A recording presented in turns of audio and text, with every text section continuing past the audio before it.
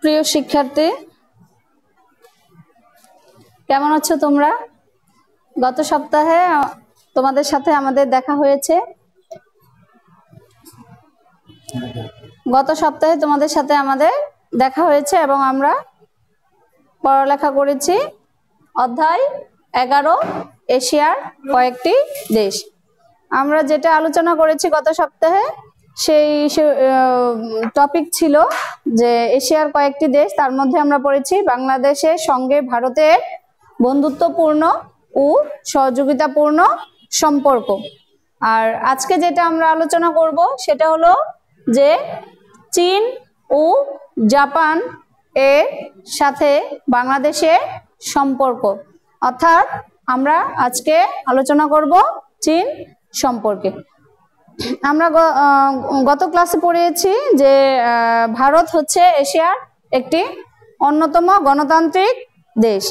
আর আজকের বিষয় হচ্ছে যে, চীন পূর্ব এশিয়ার একটি দেশ। এর রাষ্ট্রীয় নাম হলো গণপ্রজাতন্ত্রী চীন। এর রাষ্ট্রীয় নাম গণপ্রজাতন্ত্রী চীন। আর স্থানীয় নাম জুংঘু। দেশটির রাজধানীর নাম বেইজিং। দেশটির রাজধানীর নাম বেইজিং।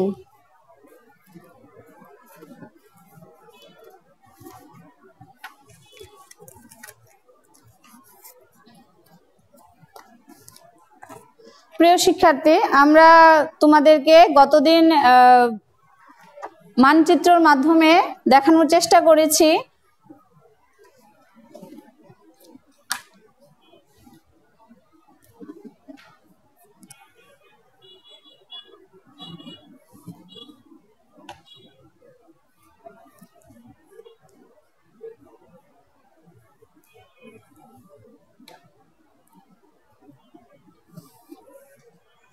ভারতকে আজকে আমরা মানচিত্রের মাধ্যমে দেখব চীনকে। চীন, চীনের রাজধানী আমরা কি বলেছি যে চীনের স্থানীয় নাম হলো জুঙ্গু এবং চীনের রাজধানীর নাম হচ্ছে বেইজিং। প্রিয় শিক্ষার্থী, তোমরা দেখো যে এই যে লাল একটা চিহ্ন দেখা যাচ্ছে, বেইজিং। চীনের রাজধানীর নাম বেইজিং এবং চীন পূর্ব এশিয়ার একটি দেশ। সেখানে একশো সাঁত্রিশ কোটি একান্ন লক্ষ সাঁত্রিশ হাজার আটশো সাঁত্রিশ জন লোকের বসবাস। এটি বিশ্বের সর্বাধিক জনসংখ্যার দেশ। তোমরা সবাই জানো আমরা যে কোনো জিনিস যদি বলি যে এটা কোথাকার? চায়নার। অর্থাৎ আমরা চীন দেশের সাথে অনেক বেশি পরিচিত। আবার আমাদের হাদিসের মধ্যে আছে, তোমরা জ্ঞানার্জনের জন্য শুধুর চীন দেশে যাও।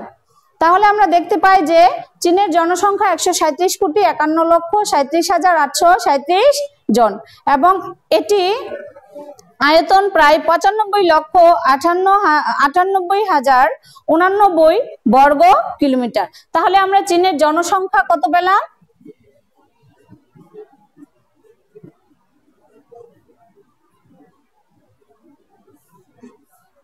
একশো সাঁত্রিশ কোটি একান্ন লক্ষ সাঁত্রিশ হাজার। একশো সাঁত্রিশ কোটি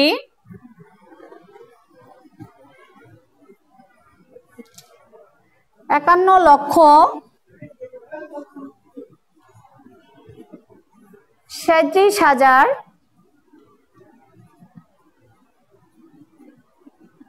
আটশো সাঁত্রিশ জন। আটশো সাঁত্রিশ জন।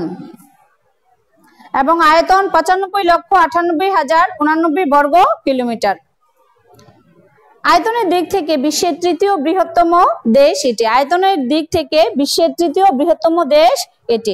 ভৌগোলিকভাবে ভারত ও রাশিয়ার অবস্থানে ভারত ও রাশিয়ার মাঝখানে দেশটির অবস্থান। এর পূর্বে প্রশান্ত মহাসাগর, পশ্চিম উত্তর দিকে রাশিয়া। এর পূর্বে আমরা বলেছিলাম যে মানচিত্রের উপরের দিকে উত্তর, দক্ষিণ পূর্ব, পশ্চিম। তাহলে পূর্বে কি? প্রশান্ত মহাসাগর। এই পূর্বে হচ্ছে প্রশান্ত মহাসাগর এবং পশ্চিম উত্তর দিকে রাশিয়া।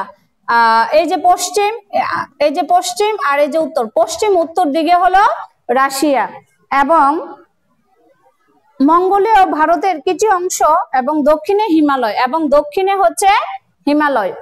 তাহলে দেশটির স্থলভাগের এক তৃতীয়াংশের বেশি জুড়ে রয়েছে পাহাড় পর্বত, বিশ্বের সর্বোচ্চ পর্বত শৃঙ্গ, মাউন্ট এভারেস্ট। আমরা জানি যে বিশ্বের সর্বোচ্চ পর্বত শৃঙ্গের নাম হলো মাউন্ট এভারেস্ট। আর এই মাউন্ট এভারেস্ট নেপাল ও চীনের সীমান্ত বরাবর অবস্থিত। এবং এই পর্বত শৃঙ্গ কোথায় অবস্থিত? নেপাল ও চীনের সীমান্ত বরাবর। চীনের জলবায়ু প্রধানত নাতিশীতোষ্ণ আমরা গতদিন ক্লাসে পড়েছি যে ভারতের জলবায়ু প্রধানত নাতি শীতোষ্ণ। তাহলে আমরা ভারতের সাথে চীনেরও কিছুটা সামঞ্জস্য রয়েছে যে জলবায়ুর দিক থেকে। তবে দেশটির কোনো কোনো অঞ্চল বছরের দীর্ঘ সময়ে বরফে আচ্ছাদিত থাকে। বহুজাতীয় সম্প্রদায়ের বাস এ দেশটিতে। আমরা গত ক্লাসে পড়েছি যে বহুজাতি সম্পর্কে বলতে কি বোঝো? বহুজাতি হচ্ছে যেখানে বিভিন্ন সম্প্রদায়, জাতি, গোষ্ঠী লোকের বসবাস এবং তারা একসাথে মিলেমিশে বসবাস করে। হিন্দু, মুসলিম, বৌদ্ধ, খ্রিস্টান শিখ জন্য ওইসব লোক যদি একত্রে মিলেমিশে বসবাস করে, তাহলে তাকে বহুজাতি বলা হয়। আর চীন বহুজাতি একটি দেশ। চীনের জনসংখ্যা শতকরা পঁচানব্বই ভাগ।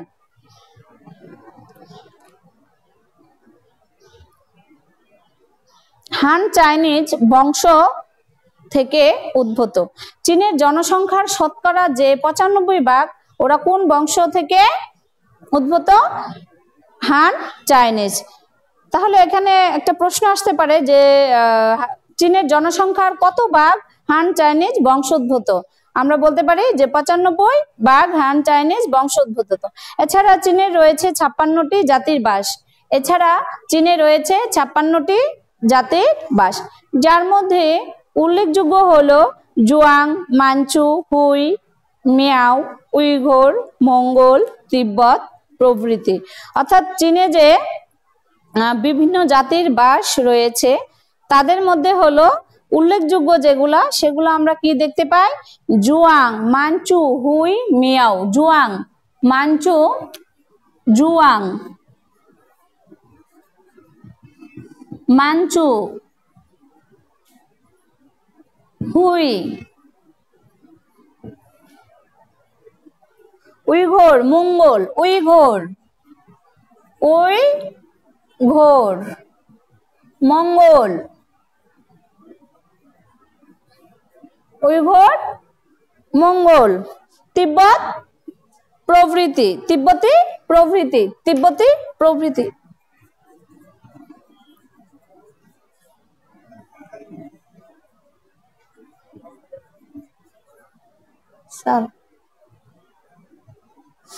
উইঘর, তিব্বতী প্রভৃতি। চীনের সংখ্যাগরিষ্ঠ মানুষের ভাষা হলো মান্দারিন। চীনের সংখ্যাগরিষ্ঠ মানুষের ভাষা হলো মান্দারিন। তাহলে আমরা কি লিখব? চীনের সংখ্যাগরিষ্ঠ মানুষের ভাষা কি? মান্দারিন।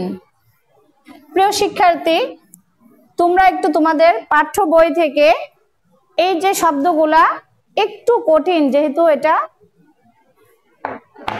অন্য একটা রাষ্ট্রর ভাষা। এই কঠিন কঠিন শব্দগুলা তোমরা একটু নোট করে নাও। তাহলে আমরা জানি চীনের সংখ্যাগরিষ্ঠ মানুষের ভাষা কি? মান্দারিন। চীনের চীনের সংখ্যাগরিষ্ঠ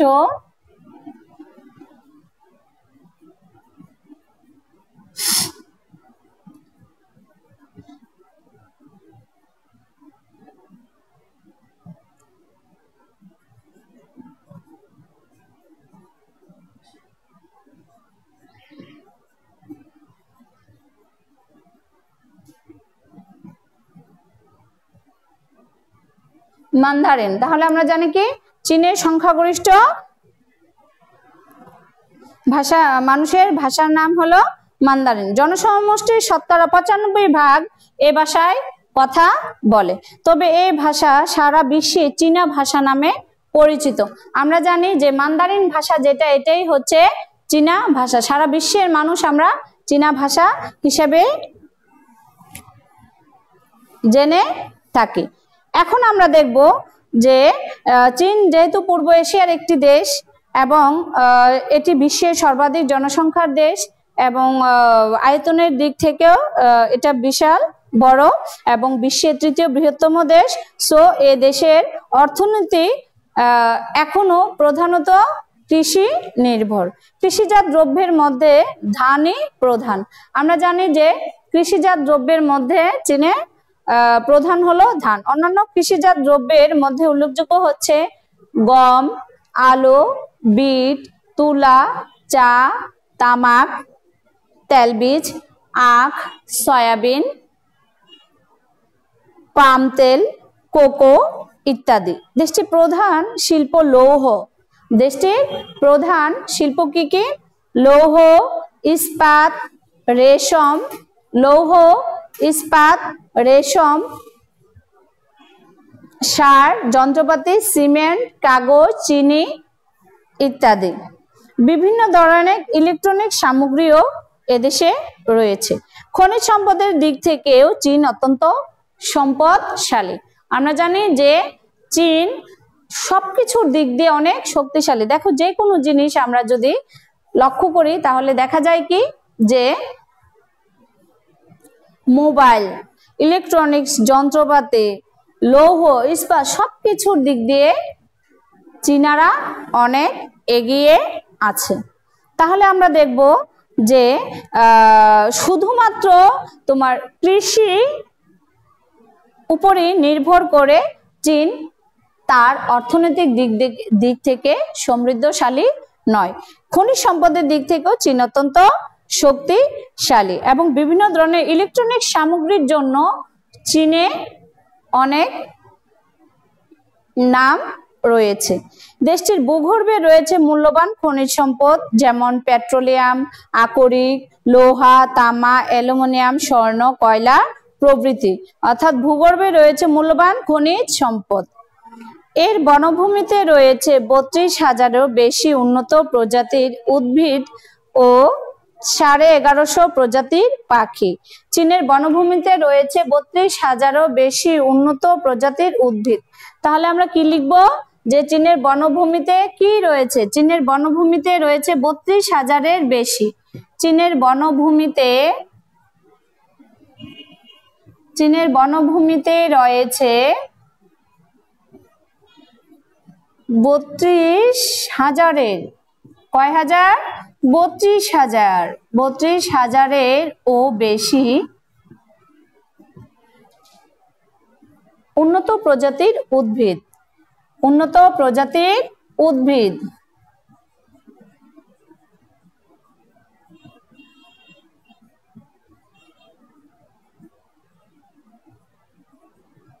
উদ্ভিদ এবং এগারোশো প্রজাতির পাখি এবং এগারোশো প্রজাতির পাখি।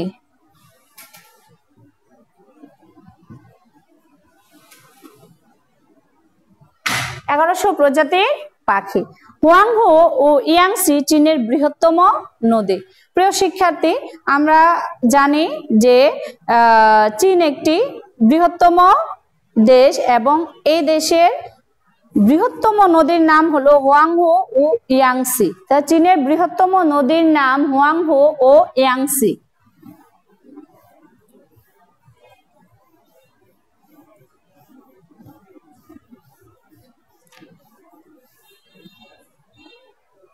চীনের বৃহত্তম নদীর নাম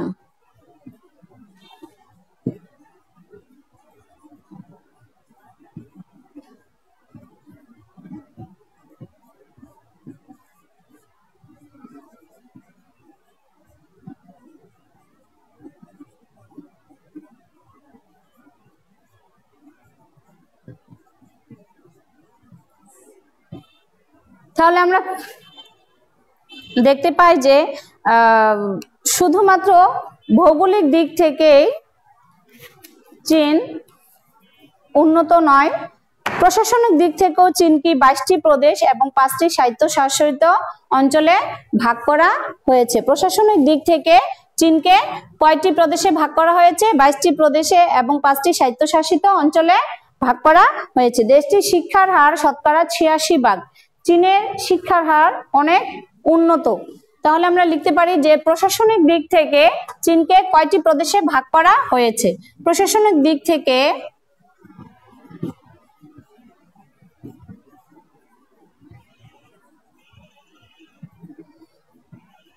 চীনকে বাইশটি প্রদেশে, কয়টি প্রদেশে ভাগ করা হয়েছে? বাইশটি প্রদেশে ভাগ করা হয়েছে।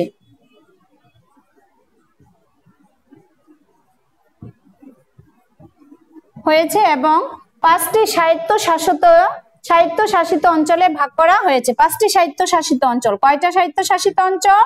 পাঁচটি সাহিত্য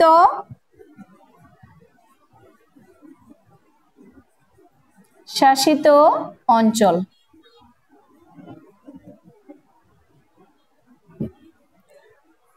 দেশটির শতকরা শিক্ষিতের হার আমরা বলেছি ছিয়াশি ভাগ। বাংলাদেশের সঙ্গে চীনের অনেক বন্ধুত্বপূর্ণ সম্পর্ক রয়েছে। শিল্প বাণিজ্যের ক্ষেত্রে চীনের সাথে আমাদের সহযোগিতার সম্পর্ক রয়েছে। যে কোনো জিনিস, আমদানি ও রপ্তানির ক্ষেত্রে বাংলাদেশের সাথে চীনের অনেক সম্পর্ক রয়েছে। তাহলে আমরা দেখব যে প্রিয় শিক্ষার্থী, চীন হলো পূর্ব এশিয়ার একটি দেশ এবং এদেশের গণপ্রজা রাষ্ট্রীয় নাম গণপ্রজাতন্ত্রী চীন, এর স্থানীয় নাম জুঙ্গু এবং দেশটির রাজধানীর নাম বেইজিং। এবং এই অধ্যায় থেকে এই আমরা যদি চীনের দিকে দৃষ্টিপাত করি, তাহলে এই অধ্যায় থেকে তোমাদের কি কি প্রশ্ন আসতে পারে। তারপরে আমরা চলে যাব জাপান। এশিয়ার আরেকটি রাষ্ট্রের নাম হবে জাপান। তাহলে চীন থেকে আমরা পড়তে পারি যে কয়েকটি প্রশ্ন তোমরা একটু লিখে নাও। নাম্বার ওয়ান চীনের রাষ্ট্রীয় নাম কি? চীনের রাষ্ট্রীয় নাম কি? রাষ্ট্রীয় নাম কি? চীনের রাজধানী কোথায়?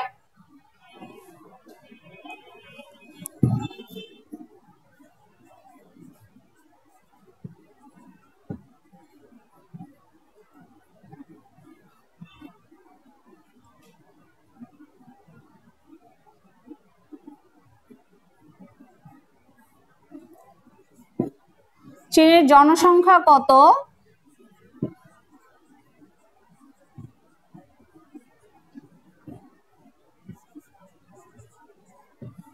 চীনের প্রধান বৃহত্তম নদীর নাম কি? চীনের প্রধান বৃহত্তম নদীর নাম কি?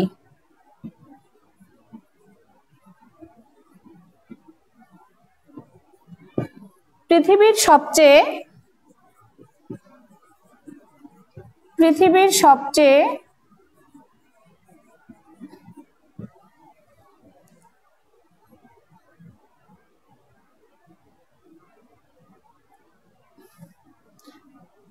পৃথিবীর সবচেয়ে উচ্চ সর্বোচ্চ পৃথিবীর সর্বোচ্চ পর্বশৃঙ্গ পৃথিবীর সর্বোচ্চ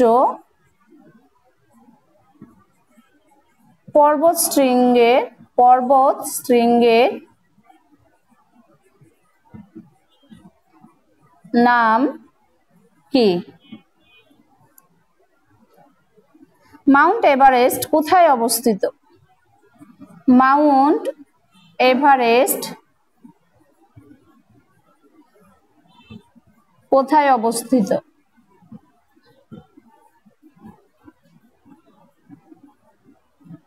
মাউন্ট এভারেস্ট কোথায় অবস্থিত?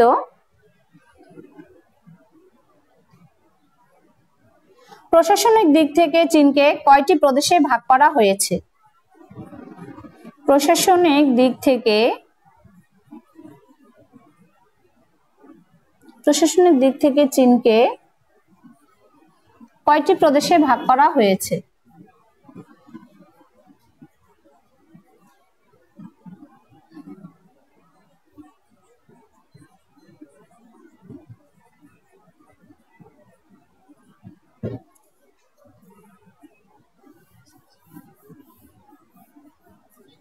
চীনের সংখ্যাগরিষ্ঠ মানুষের ভাষার নাম কি?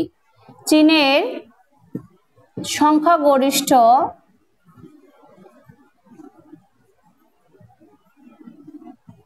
মানুষের ভাষার নাম কি?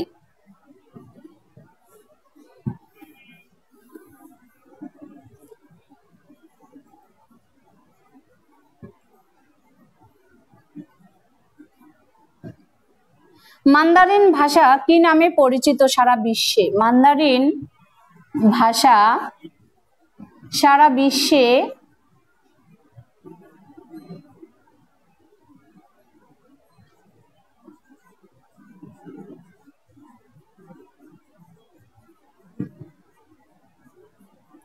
কি নামে পরিচিত?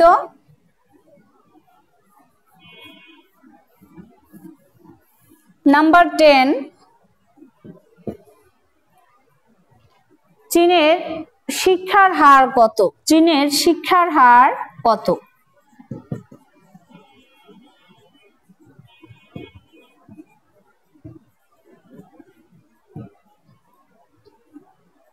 আরেকটি প্রশ্ন তোমাদের বাড়ির কাজের জন্য থাকবে, সেটা হচ্ছে চীনের সঙ্গে বাংলাদেশের অর্থনৈতিক সম্পর্কে বিবরণ দাও। চীনের সঙ্গে বাংলাদেশের, এটা হচ্ছে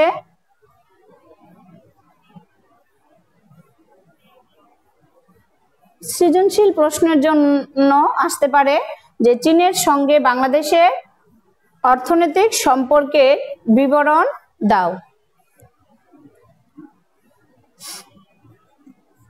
বড় প্রশ্ন হিসেবে আসতে পারে, চীনের সঙ্গে বাংলাদেশে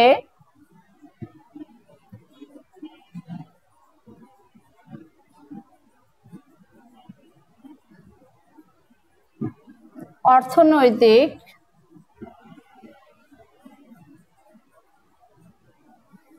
সম্পর্কের বিবরণ দাও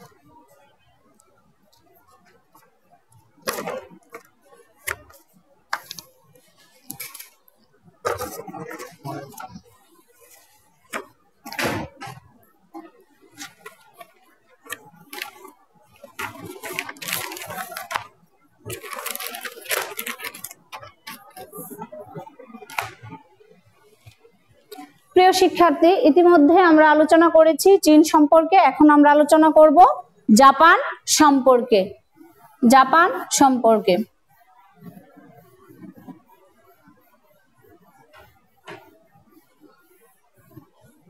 আমরা জানি যে জাপান পূর্ব এশিয়ার একটি দ্বীপময় দেশ। জাপান পূর্ব এশিয়ার একটি দ্বীপময় দেশ। ছোট বড় প্রায় চার হাজার দ্বীপ নিয়ে এই রাষ্ট্রটি গঠিত এর মধ্যে প্রধান চারটি দ্বীপ হলো হুক্কাইডু, হনসু, শিকোকু এবং কিউসু। জাপান পূর্ব এশিয়ার একটি দ্বীপময় দেশ। দেখো, আমরা এখানে দেখতে পাচ্ছি জাপান। আমরা কি বলেছি যে জাপান অসংখ্য অসংখ্য অর্থাৎ ছোট বড় প্রায় চার হাজার দ্বীপ নিয়ে এই রাষ্ট্রটি গঠিত। এর মধ্যে প্রধান চারটি দ্বীপ হলো হুক্কাইডু। আমরা যদি মানচিত্রের মাধ্যমে দেখতে পাই যে দেখো, প্রধান চারটি দ্বীপ, একটা হচ্ছে Hokkaido Honshu Hokkaido Honshu Shikoku, Kyushu, Shikoku Shikoku, Kyushu Shikoku Kyushu, Shikoku Shikoku. আমরা ম্যাপের মধ্যে দেখতে পাই। দেখো তোমরা, প্রিয় শিক্ষার্থী, শিকোকো, কিউসু, অর্থাৎ ছোট ছোট দ্বীপ নিয়ে জাপান দেশ গঠিত। এটি পূর্ব এশিয়ার একটি দ্বীপময় দেশ। দেশটির চারদিকেই সমুদ্র, জাপান সাগর এবং পূর্ব চীন সাগর জাপানকে এশিয়া মহাদেশে মূল খণ্ড থেকে বিচ্ছিন্ন করে আছে। তাহলে দেশটির রাষ্ট্রীয় নাম কিংডম অফ জাপান। দেশটির রাষ্ট্রীয় নাম কিংডম অফ জাপান এবং স্থানীয় নাম নিহন বা নিপ্পন। আমরা জানি যে জাপান প্রায় চার হাজার প্রায় চার হাজার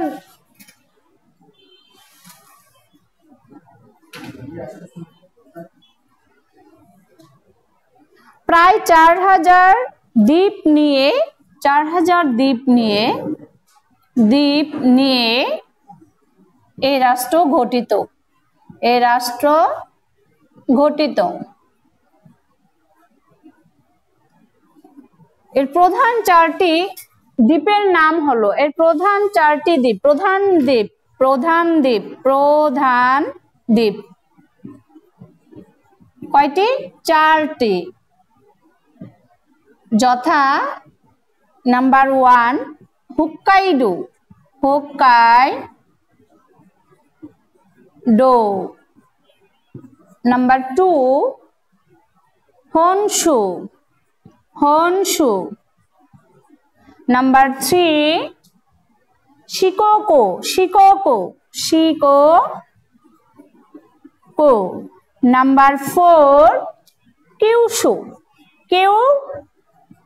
Kyushu তাহলে আমরা কি পেয়েছি? যে জাপান প্রায় চার হাজার দ্বীপ নিয়ে গঠিত।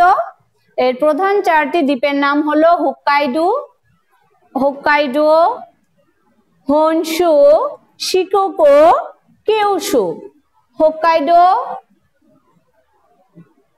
Honshu Shikoku Kyushu এর রাষ্ট্রীয় নাম হলো কিংডম অফ জাপান এবং এর স্থানীয় নাম হলো নিহন বা নিপ্পন। নিহন বা নিপ্পন। জাপানের রাজধানীর নাম টোকিও। আমরা সবাই জানি জাপানের রাজধানীর নাম টোকিও। এশিয়া মহাদেশের একেবারে পূর্ব প্রান্তে দেশটি অবস্থিত। জাপানকে তাই সূর্যোদয়ের দেশও বলা হয়ে থাকে। এটা একটা ইম্পর্টেন্ট একটা টপিক যে জাপানকে সূর্যোদয়ের দেশ বলা হয়ে থাকে। দেশটির আয়তন প্রায় তিন লক্ষ সাতাত্তর হাজার সাতশো আট বর্গ কিলোমিটার দেশটির আয়তন তিন লক্ষ সাতাত্তর হাজার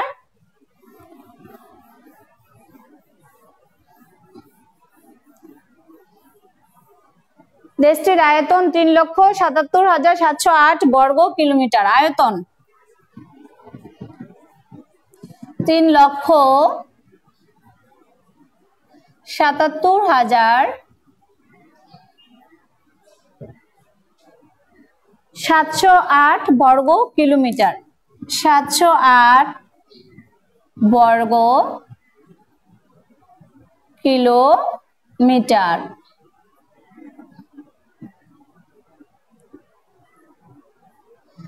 জাপানের স্থানীয় নাম নিহন বা নিপ্পন। জাপানকে সূর্যোদয়ের দেশ বলা হয় এবং এর লোক সংখ্যা হলো বারো কোটি পঁয়ষট্টি লক্ষ চৌত্রিশ হাজার। বারো কোটি পঁয়ষট্টি লক্ষ চৌত্রিশ হাজার। জনসংখ্যা। জনসংখ্যা বারো কোটি পঁয়ষট্টি লক্ষ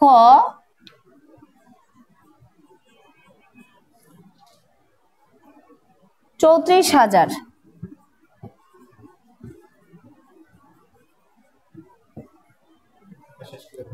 শেষ টাইম শেষ? আচ্ছা আর একটু। তাহলে জাপানের জলবায়ু হচ্ছে নাতি শীতোষ্ণ।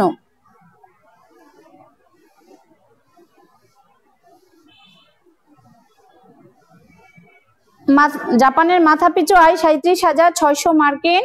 ডলার প্রিয় শিক্ষার্থী আমরা পরবর্তী ক্লাসে জাপান সম্পর্কে বিস্তারিত আলোচনা করব। আজকের তোমাদের চীন থেকে যে এমসিকিউ গুলা কিংবা বড় প্রশ্নটা কিংবা সৃজনশীল প্রশ্ন দিয়েছি, সেগুলা পড়ে নিবে এবং সাথে এখান থেকে আর চার, পাঁচটা প্রশ্ন একটু তোমরা লিখে নাও। নেক্সট ক্লাসে আমরা জাপানের সম্পর্কে বিস্তারিত আলোচনা করব। তাহলে এমসিকিউ যদি লিখো। জাপানের দ্বীপ কয়টি? জাপানের দ্বীপ কয়? সরি, জাপানের প্রধান দ্বীপ কয়টি? প্রধান দ্বীপ কয়টি? জাপানের রাষ্ট্রীয় নাম কি? জাপানের রাষ্ট্রীয় নাম কি? জাপানের স্থানীয় নাম কি?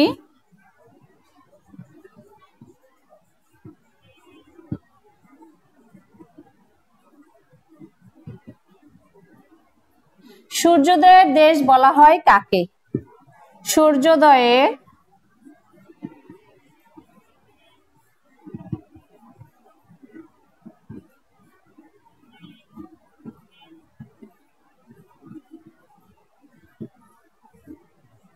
জাপানের রাজধানী কি? জাপানের রাজধানীর নাম কি?